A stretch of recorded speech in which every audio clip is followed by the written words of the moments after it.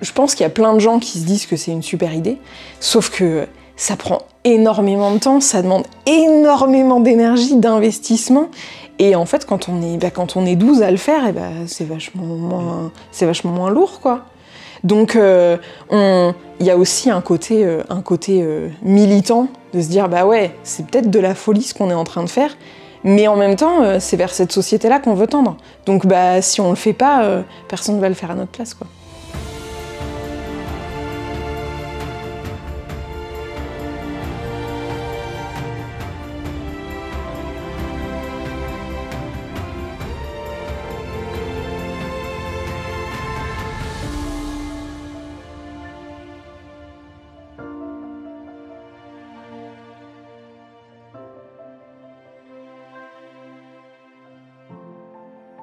Bonjour tout le monde et bienvenue sur Demos Kratos. Sur la chaîne, on a réalisé maintenant pas mal de reportages sur des écolieux et euh, j'ai l'impression qu'on vous a donné envie de vous aussi lancer votre propre projet.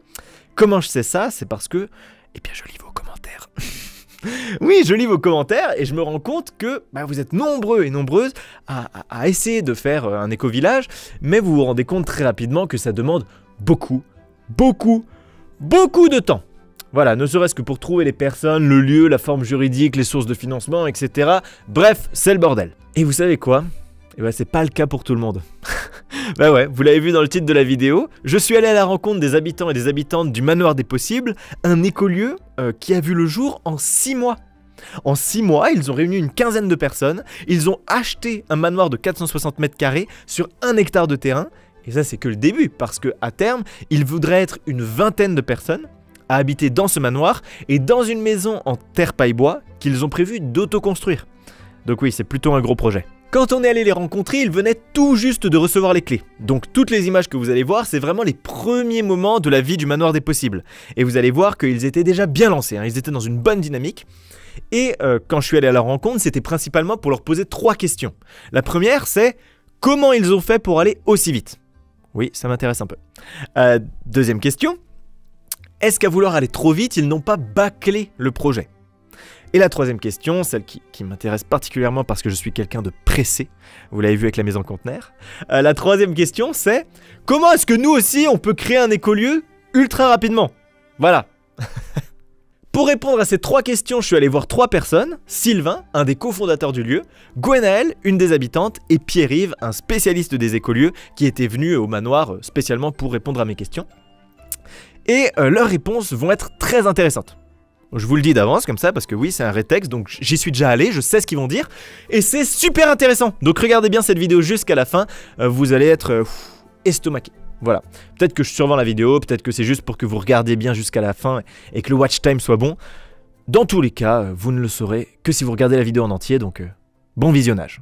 Mais avant de commencer, juste un petit mot pour remercier toutes celles et tous ceux d'entre vous euh, qui nous soutiennent financièrement sur Tipeee. C'est très important parce que c'est ce qui nous permet euh, bah, d'aider à financer ces documentaires. Et là, malheureusement, euh, notre Tipeee et notre Utip sont beaucoup trop bas. On ne peut plus réaliser des vidéos comme ça, on a tout simplement plus l'argent pour payer bah, le cadreur qui est derrière cette caméra, le monteur, moi, le matériel, les transports, enfin on n'a plus de quoi produire ces documentaires. Donc si vous en avez la possibilité, merci de nous soutenir vraiment sur Utip ou sur Tipeee. C'est vraiment de l'argent qui est investi dans les documentaires directement. Donc si vous voulez voir des vidéos comme ça, tous les liens sont dans la description de la vidéo. Et si vous êtes une entreprise ou une association, eh bien n'hésitez pas à contacter Ethic Production. C'est la boîte de production qu'on a euh, montée et euh, qui euh, produit tous nos documentaires. Et avec Ethic Production, eh ben, on réalise des vidéos pour des associations et des entreprises, histoire de pouvoir financer ensuite Demos Kratos. Donc toutes les explications, tous les liens sont dans la description. Je vous embête pas plus longtemps, mais merci de soutenir Demos Kratos. Sans vous, on n'existerait plus. Bon visionnage, belle vidéo, et à tout à l'heure.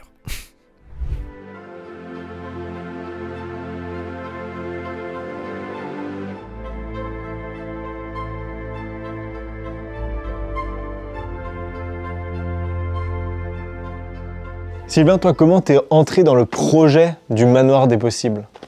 Alors, j'ai découvert ce lieu parce que je suis euh, agent immobilier et je suis tombé sur ce, sur ce manoir qui me semblait être un, lieu idyllique pour monter un habitat participatif. Donc, à la base, j'étais sur un autre projet. J'avais acheté un terrain et euh, sur lequel il n'y avait euh, aucune construction. Et du coup, euh, on avait fait les plans, tout, était prêt, mais il fallait être en autopromotion, en autoconstruction, avoir l'argent, avoir le temps et réunir tous. Enfin, il y avait encore plein d'autres conditions. Et réunir tous ces paramètres-là, bah, c'était le mission impossible. Donc, contrairement à ce qu'on peut imaginer, c'est parce que le bien est cher que ça va être plus compliqué. Et là, on peut maintenant déjà habiter en parallèle de la réhabilitation et des nouveaux construits que l'on va faire à côté.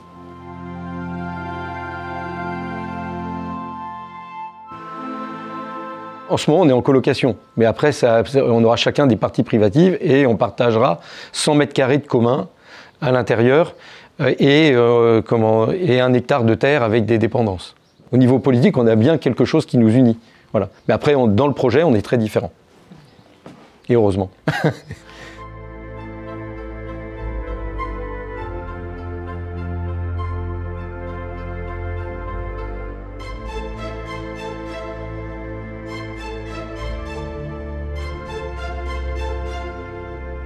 Le manoir fait à peu près 350-360 mètres carrés, plus un grenier de, de 100 mètres carrés au sol, 70 euh, à un mètre, au-delà d'un mètre 80. Euh, donc euh, voilà, et à, et à côté il y a les 300 mètres carrés, donc euh, ça fait quand même un sacré volume euh, d'espace. On a choisi euh, aussi euh, de, comment, de mettre la, la longère, qu'on- on- les nouveaux construits, on les appelle, la- on appelle ça la longère. La, ma- la maison terre paille bois, voilà, ça sera un peu une forme de, de longère. On ne sait pas exactement encore comment elle va être faite au niveau des fondations, si c'est sur pilotis ou autrement, mais ça sera dans le prolongement euh, du manoir, avec une réorientation un, un petit peu pour être vraiment pleinement au sud, quoi, au niveau orientation pour du bioclimatisme. Euh, bioclimatisme. Et, euh, comment, et donc là, on est dans la partie haute, on est proche de l'église, et ça, c'est la place qu'on se réserve en tant qu'humain, l'impact. Et donc, on, compacte euh, au maximum la, longère. On ne fait pas des, des- des extensions de tous les côtés parce qu'on veut que l'emprise soit limitée, on veut réduire les coûts. On, on va prendre notre place, donc on a coupé par exemple deux sapins. Euh, on va devoir tailler un chêne à contre-cœur, mais bon, parce que voilà, on peut pas, euh, il faut qu'on, ait la place. Donc on se fait comme une place, mais après on, est- très vigilant sur le fait. notre idée, c'est même les arbres morts, c'est les laisser debout morts parce que ça abrite euh, toute une biodiversité.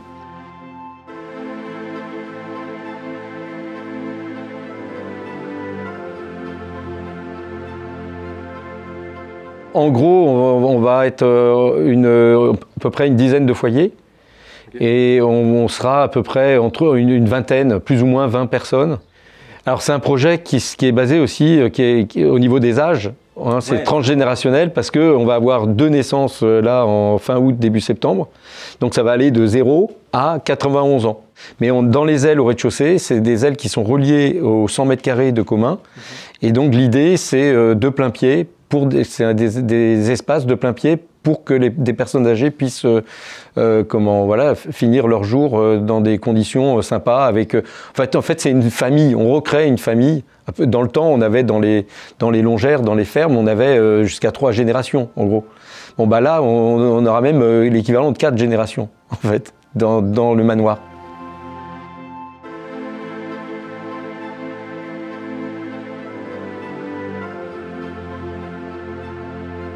On a donc un écolieu intergénérationnel d'une vingtaine de personnes, avec de l'éco-construction, une réflexion sur la démocratie et une volonté de vivre en harmonie avec la nature. Bref, que demander de plus? Enfin voilà, vous comprenez l'ampleur du projet et vous comprenez pourquoi je devais aller à leur rencontre. Mais le plus fou dans cette histoire, c'est pas tellement l'ampleur du projet, c'est surtout la rapidité avec laquelle ils l'ont monté. Parce que dites-vous bien que quand ils m'ont contacté, ils avaient même pas encore signé le bail. Genre ils étaient en mode bon peut-être on aura un manoir, machin. Quelques mois plus tard, je suis arrivé sur le lieu, ils venaient de recevoir les clés. Et ils avaient déjà tout fait. Il y avait un potager, il y avait euh, les aménagements, ils avaient prévu où ils allaient construire, il y avait des, des euh, mobiles, enfin ils, étaient super avancés. Donc la question qui m'a brûlé les lèvres vraiment pendant tout mon séjour là-bas, c'était mais dites-moi votre secret, comment vous avez fait pour aller aussi vite? Et c'est ce qu'on va voir tout de suite.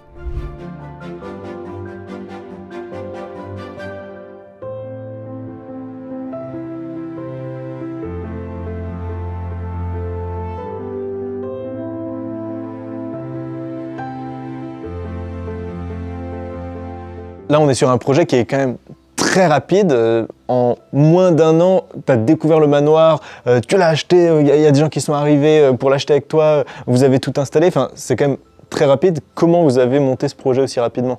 Oui, alors avant d'être sur ce projet, euh, il y avait un, autre projet, un terrain euh, avec euh, aucune, aucune construction et qui n'a pas abouti. Et, coup, et ça n'a pas abouti parce que j'ai découvert ce, lieu-là. Et donc, comment, mais les personnes ont suivi, en fait, les personnes du précédent projet ont suivi.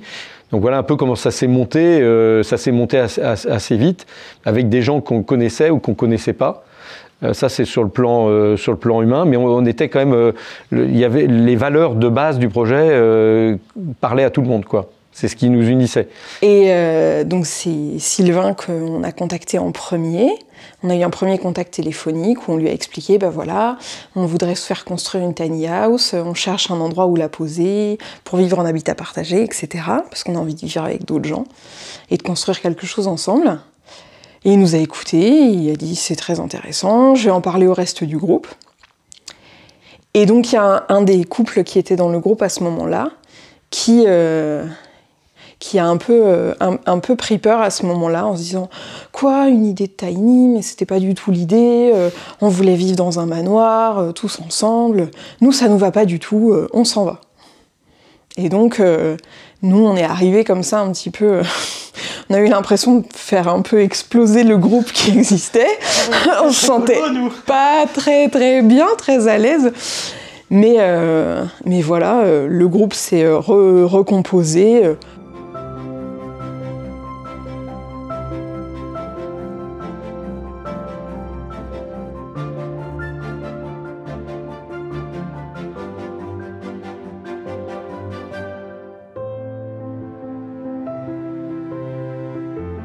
Et après, sur le plan technique, bon, le fait d'être dans l'immobilier, de connaître un petit peu les différents statuts.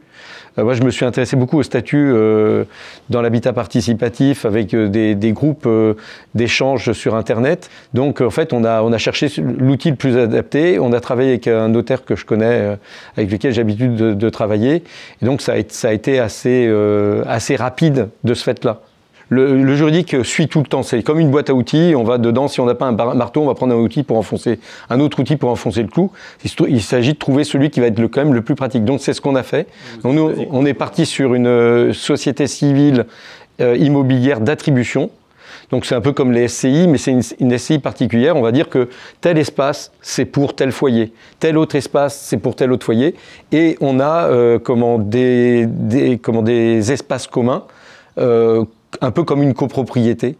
On a des tantièmes, des espaces communs. Nous, par exemple, on s'est positionné sur euh, un appartement, un petit, un petit appartement de 50 mètres carrés.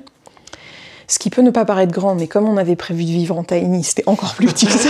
Trois fois C'est ça. Euh, donc on s'est positionné sur 50 euh, mètres carrés. Et donc, du coup, on a payé bah, un futur logement à construire de 50 mètres carrés. Donc en gros, c'est un morceau du jardin qui correspond à 50 mètres carrés. Quoi. Après, au niveau du, financement, bon, bah, euh, comment chacun euh, est venu avec son argent. Euh, certains, c'était 200 et quelques, 200 et quelques mille, d'autres, c'était 43 000, d'autres, c'était 20 000, d'autres, c'était 9 000, en gros. Voilà. Donc chacun est venu avec son argent et on a, on a constitué des parts sociales pour tel logement et tout, mais il y a des personnes qui n'ont pas mis encore le prix qu'elles auraient dû mettre, et d'autres qui ont mis plus. Et ça, ça se gère dans la société avec des comptes associés. Et comme nous, euh, particulièrement, notre destination, c'est pas de vivre dans le manoir, dans un appartement dans le manoir, mais dans le nouveau construit, mhm. en fait, on a acheté un droit à construire. C'est le futur espace qu'on va occuper dans, euh, dans, le, dans le, le, projet complet. Et vous le payez à qui? C'est quoi? C'est un truc à la mairie ou c'est euh, à la SCIA. Ok, voilà. Vous réservez cette partie de terrain en fait. Voilà, c'est ça. Et, et, du coup, maintenant qu'on a payé ça, donc qui est pas, qui est pas énorme, hein, parce que le prix du mètre carré euh, à Tréfindel, c'est pas énorme. Mhm.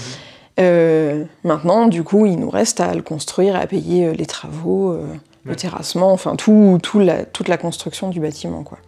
Avec, avec les autres qui seront aussi dans le nouveau construit. C'était clair?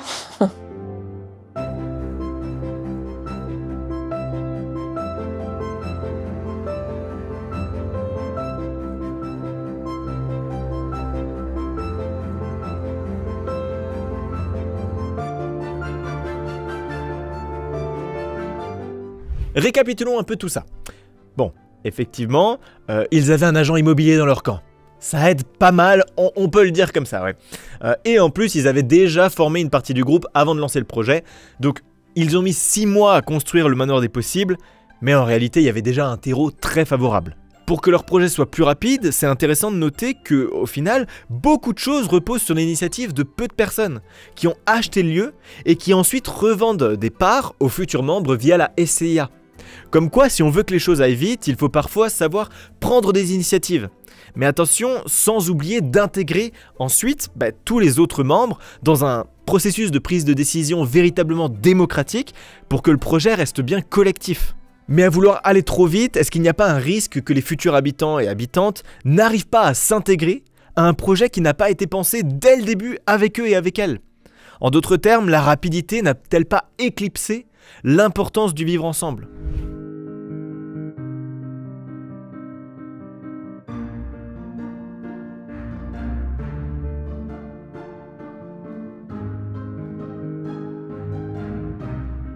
Tu me disais voilà, que euh, tout à l'heure on discutait, il n'y a pas de charte à proprement partie sur le lieu, même si les gens sont à peu près tous dans la même philosophie.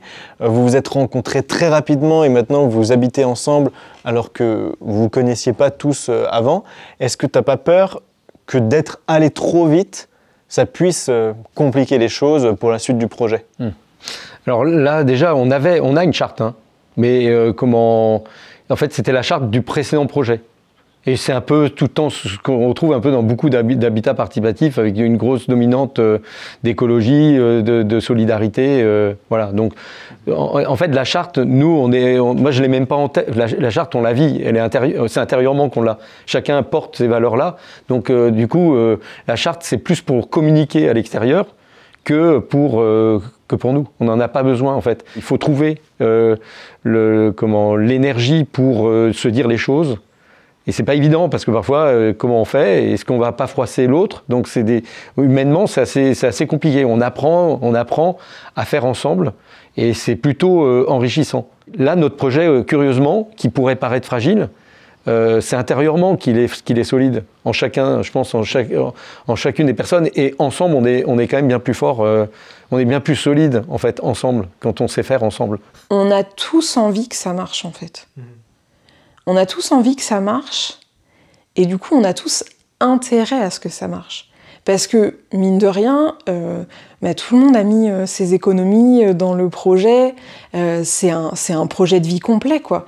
On, a décidé de, vivre ensemble, d'acheter un bien ensemble, ce qui est quand même pas du tout anodin à notre époque, surtout bah, avec, la, avec la pandémie où on ne sait pas ce qui va nous attendre derrière, etc. Et donc, on a, on a vraiment tous intérêt à ce, que, à ce que la communication se passe bien, à ce que les échanges se fassent bien et à ce que le groupe fonctionne, parce que sinon, euh, ben on, sera vraiment, on sera vraiment mal, quoi. Ben, c'est un peu tous notre avenir qu'on joue euh, tous ensemble, en fait. Mm. Donc, euh, je pense que ça, ça oblige, quelque part, d'un point de vue humain, à faire tout plein d'efforts pour que pour que ça marche. Voilà, c'est ce que je me dis. c'est l'espoir que j'ai en tout cas.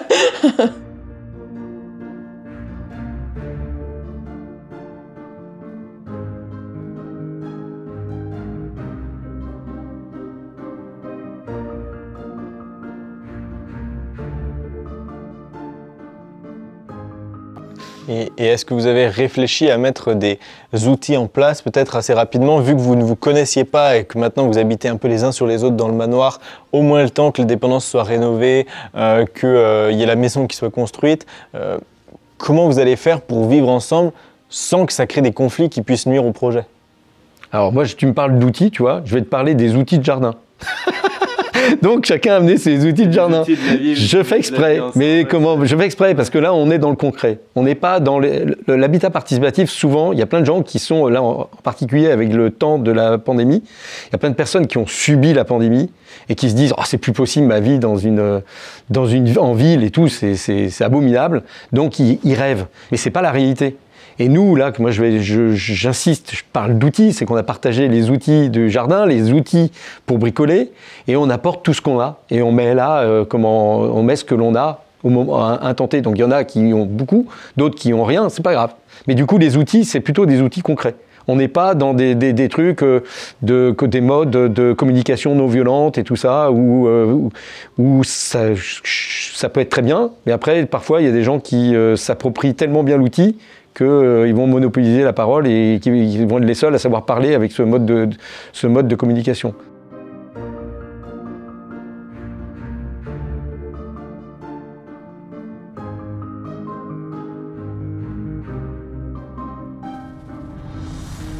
on est, tous habités par des peurs. Mais là, si en fait euh, nos peurs sont trop, euh, comment, trop présentes, ça va pas aller parce que nous, on n'est pas un projet rassurant. On aimerait bien que, euh, en gros, dans deux ans et demi, euh, ça soit construit à côté, qu'on puisse avoir nos espaces et tout ça. Mais si c'est pas le cas, c'est pas trop grave. Ce qui compte, c'est la qualité aussi de ce qu'on vit au temps présent.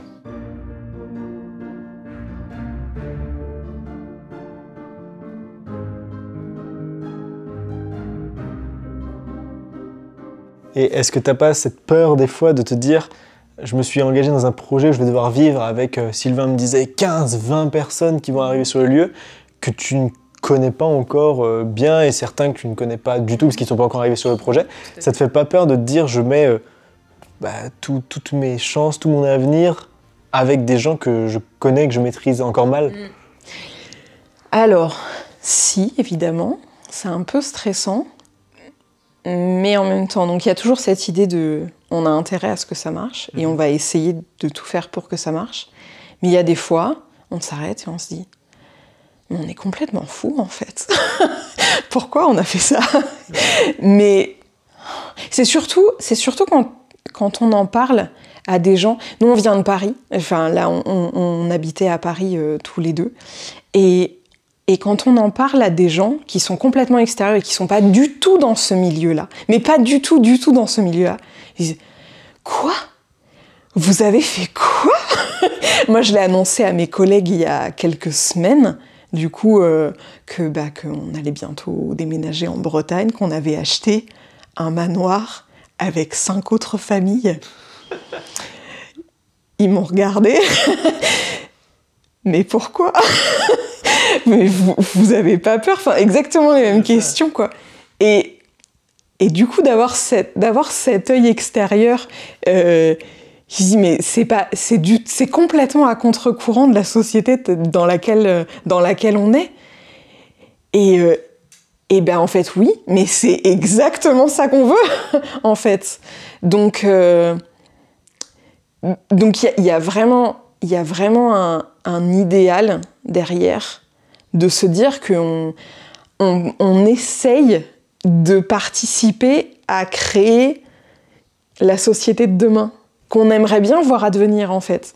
Le, bah, plus, euh, plus de solidarité entre les générations, euh, plus d'écologie, plus de résilience euh, au quotidien. Le fait, bah, par exemple, le fait de faire son propre potager, bah, je pense qu'il y a plein de gens qui se disent que c'est une super idée, sauf que ça prend énormément de temps, ça demande énormément d'énergie, d'investissement. Et en fait, quand on est, bah, quand on est 12 à le faire, et bah, c'est vachement moins, c'est vachement moins lourd, quoi. Donc, euh, il y a aussi un côté, euh, un côté euh, militant de se dire, bah ouais, c'est peut-être de la folie ce qu'on est en train de faire, mais en même temps, c'est vers cette société-là qu'on veut tendre. Donc, bah, si on le fait pas, personne ne va le faire à notre place, quoi.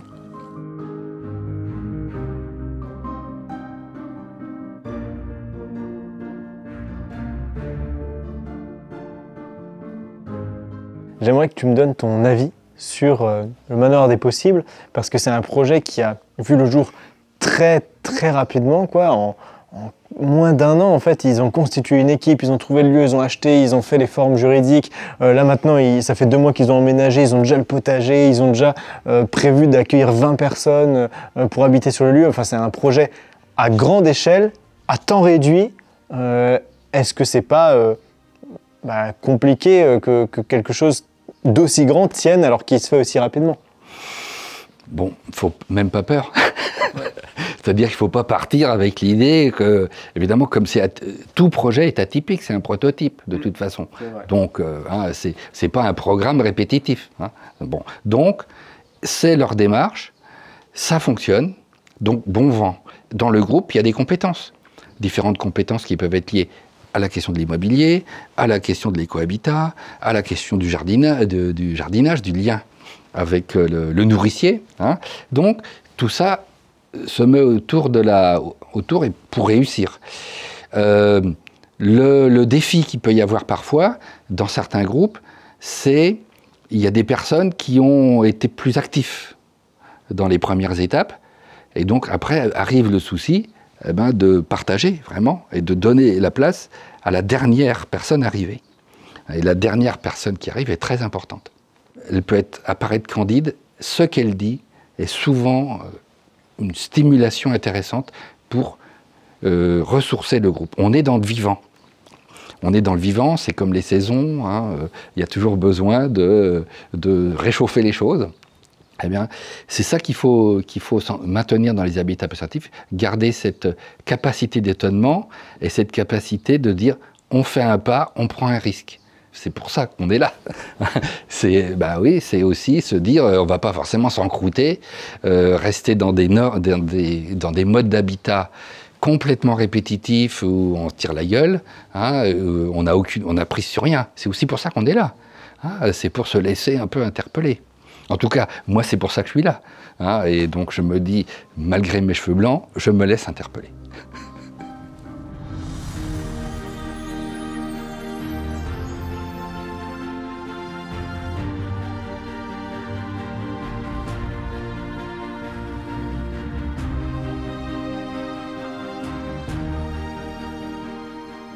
Contrairement aux autres écolieux qu'on a pu aller voir avec Demos Kratos, c'est intéressant de noter que le manoir des possibles ne semble pas avoir peur de ce qu'on appelle le putain de facteur humain.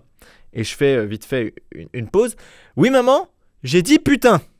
Oui, mais là, il y a une raison, parce que le putain de facteur humain, c'est un vrai concept qu'a théorisé l'astrophysicien Hubert Reeves. Et pour faire simple, c'est l'idée que même si on pense un projet de A à Z, qu'on laisse rien au hasard, il y aura toujours des problèmes toujours des problèmes avec les humains parce que nos relations humaines sont faites de conflits. Voilà, le putain de facteur humain sera toujours là et il faut faire avec. C'est exactement ce qu'on avait vu dans notre précédent documentaire à Eotopia où on avait voulu insister sur les difficultés du vivre ensemble en communauté. Et on avait vu que les écolieux mettent souvent en place des outils pour résoudre ces conflits. Pour l'instant, le manoir des possibles ne semble pas avoir euh, besoin de ces outils de communication non violente, qui sont plutôt dans les outils de jardinage. Euh, mais c'est pas grave, ça veut peut-être dire que pour l'instant, euh, ils arrivent à faire autrement. Peut-être que ça arrivera plus tard, peut-être qu'ils inventeront même leurs propres outils. Ce qui est certain, c'est qu'il va y avoir des conflits. C'est sûr, quand on vit à plus d'une dizaine de personnes pendant des semaines, des mois, voire des années ensemble, il va y avoir des conflits et il va falloir apprendre à faire avec et à les résoudre pour bah, la pérennité du projet.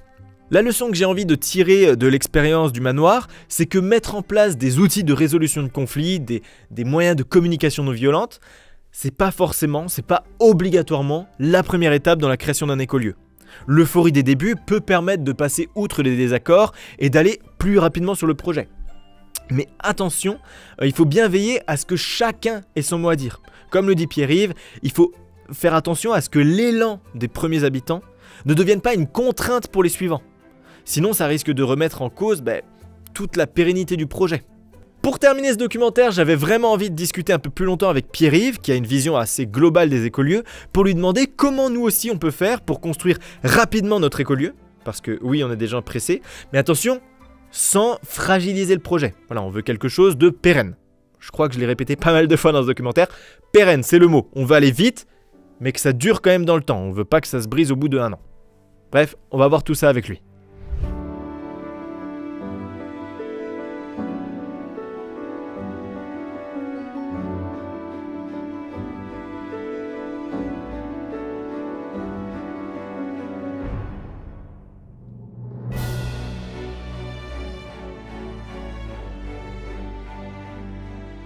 Pour toi, ce serait quoi la première étape pour créer un éco-village? La première étape, c'est faire un pas. faire un pas. C'est une forme de pas de côté, comme on dit quelquefois, par rapport à ce qui est l'offre du monde du marché ou l'offre hein, ou les services qui sont faits par les collectivités et le monde HLM. Donc la première étape, c'est de se dire je peux m'impliquer. C'est d'abord une volonté. Je veux être acteur. Et après, eh bien, il y a plein de choses qu'il faut avoir euh, traitées.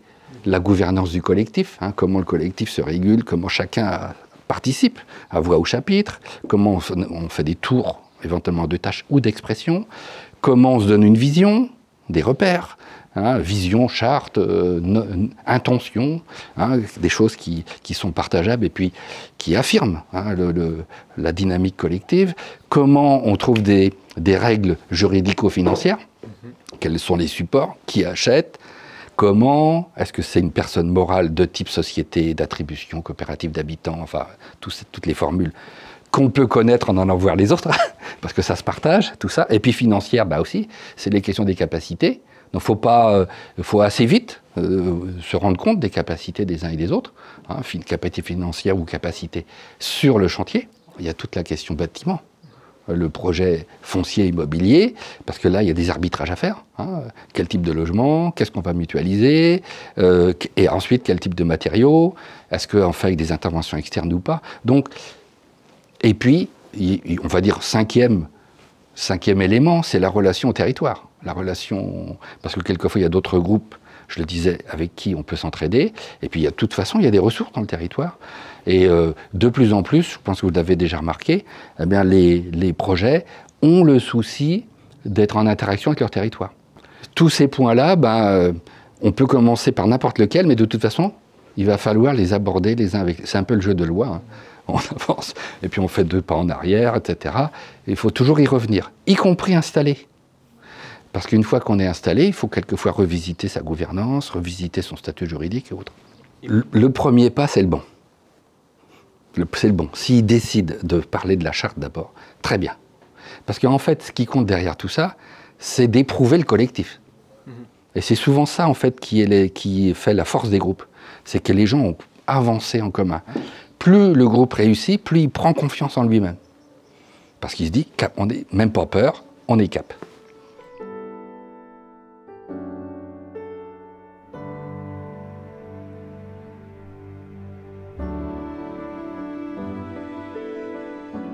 Pour trouver les habitats, pour faire du réseau, bah, c'est avec les associations, ça s'appelle ici HPO, ça s'appelle Eco Habitat Groupé Nord-Pas-de-Calais dans Nord-Pas-de-Calais, Eco Quartier Strasbourg, enfin il y a et puis souvent, on fait, on fait ensemble des journées portes ouvertes, qui sont d'ailleurs européennes, faites avec les Belges et les Allemands, qui cette année vont avoir lieu en septembre. Donc c'est déjà repérer où sont les portes ouvertes.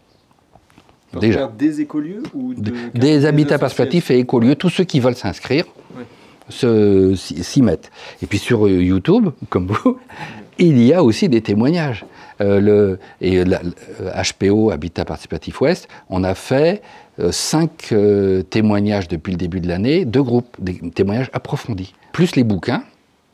comme comment dire, Éco-Village et Habitat Participatif, c'est un bouquin qui vient de sortir aux éditions Rustica. Et puis il y a un autre, c'est Les clés de l'habitat participatif, c'est assez récent aussi. Il y a aussi en complément de, la vie de tout ce mouvement associatif, hein, Habitat Participatif France, il y a aussi des accompagnateurs qu'on appelle quelquefois AMU, assistants à maîtrise d'usage. Idée de, de coacher, d'accompagner les usagers. Donc, on commence à avoir des compétences. Il y a un petit réseau sur l'habitat léger là, qui se crée avec des compétences. Il y a des accompagnateurs d'habitat participatif. ils n'ont pas de monopole, c'est pas exclusif, mais ça aide ça aide aussi de, voir les, compétences qu'il y a autour de soi.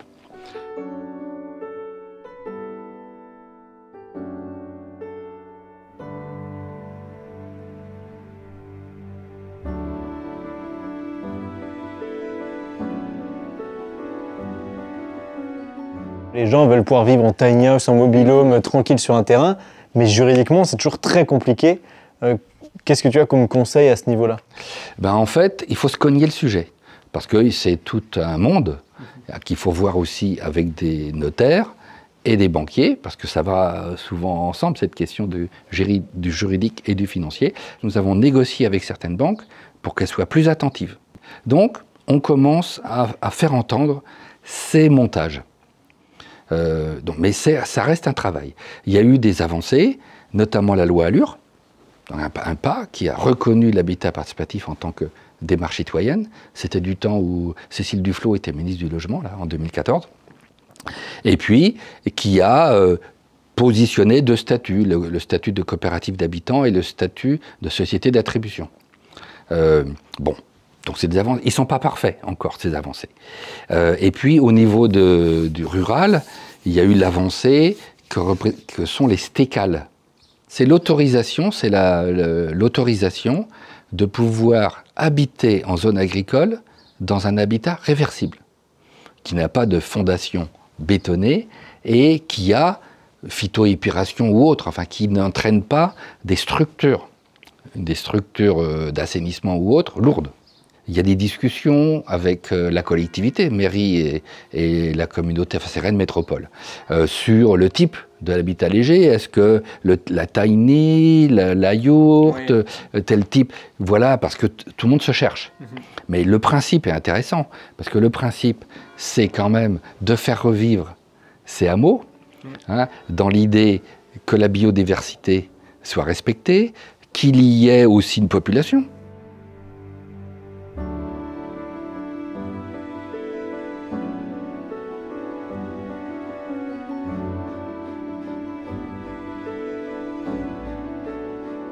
Le réseau des AMU accompagnateurs a un site internet qui euh, s'appelle RAHP, RAP, RAHP, Réseau des accompagnateurs de l'habitat participatif. Et il y a la liste. Alors, ils ne sont pas forcément tous là, mais il y en a pas mal. Et puis, il y a aussi le, le- le réseau Oasis qui a référencé des compagnons, des accompagnateurs. L'accompagnateur, euh, ben, c'est parfois quelqu'un avec qui on travaille, avec qui on partage. Euh, et c'est pas forcément un professionnel de l'accompagnement, mais le fait d'avoir quelqu'un qui est un peu tiers, euh, qui dit ben je le sens votre truc, je le sens pas, et puis le fait de pouvoir en parler, eh ben est déjà une forme d'accompagnement. hein. L'idée du tiers est importante.